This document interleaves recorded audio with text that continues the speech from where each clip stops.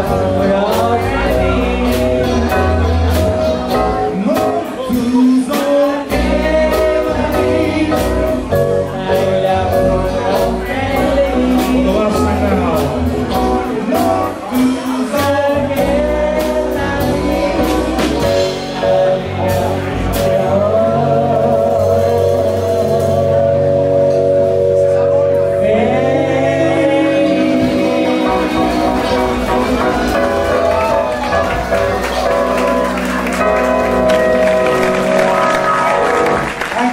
Lord Fernandez. Can we make her a Goan? She already has a Goan surname, so why not?